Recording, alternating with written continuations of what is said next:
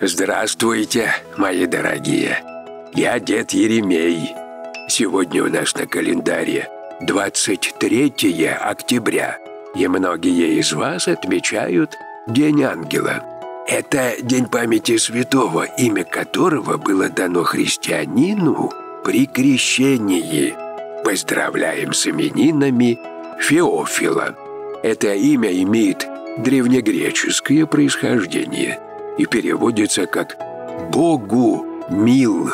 Небесным покровителем его является преподобный Феофил Тивериопольский, Константинопольский. В восьмом веке в окрестностях Тивериады на свет появился мальчик по имени Феофил. В 13-летнем возрасте оставил он отчий дом и ушел в Лавру на Селентийской горе, где воспитывался и возрастал духовно под чутким руководством старца Стефана. По прошествии трех лет юный праведник принял постриг в иноческий чин. Все это время его родители не знали, где находится их возлюбленный отрок. Но тут один из соседей сообщил им, что сын их в обители – не раздумывая, родители отправились туда и просили игумена отпустить Феофила и еще нескольких братьев, чтобы они смогли основать монастырь ближе к родному дому. Игумен не возражал, но велел инокам соблюдать строгий пост и стать на молитву, дабы получить знамение. На третий день на всю округу раздался глаз Божий, благословляющий отпустить Феофила, ибо надлежало ему прославиться многими духовными подвигами в новой обители. Так с легким сердцем игумен проводил святого и братью. Шло время, и вот на трон взошел император-иконоборец Лев Исавр – который творил различные беззакония.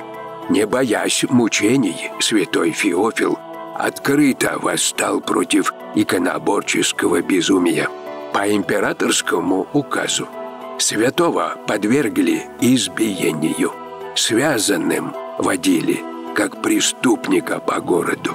После сановник принуждал исповедника отречься от святых икон – но не мог поколебать его. От телесных мучений праведник только укреплялся и, более того, смог самого сановника убедить, что Христова вера истинная.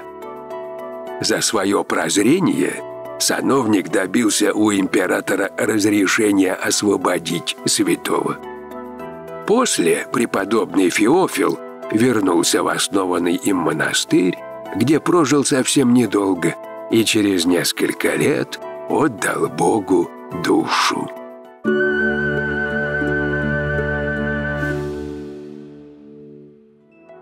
А также своими молитвами с Днем Ангела мы поздравляем Евлампия, Иннокентия, Владимира, Андрея и Василия. Напоминаю, что самим именинникам следует посетить храм, а если возможно, то и причаститься. С Днем Ангела вас, мои дорогие! Пусть все святые молят Бога о нас.